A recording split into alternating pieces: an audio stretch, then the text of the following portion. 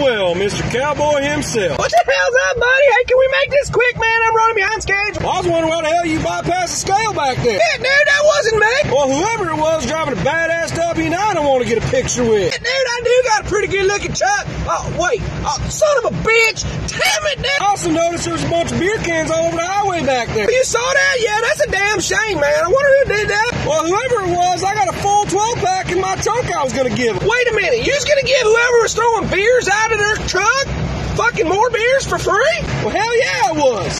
Huh. Where the hell? What? Wait. Oh, shit, dude. This ain't what it looks like. Damn it, dude. You weren't going to give away beer, were you? Hey, were you at the Quickie Mart last night? Hell no, I wasn't. Why? Some cowboy smeared Vaseline all over my windshield. Well, shit, dude. I wonder who did that. That's terrible. Is that a new tattoo?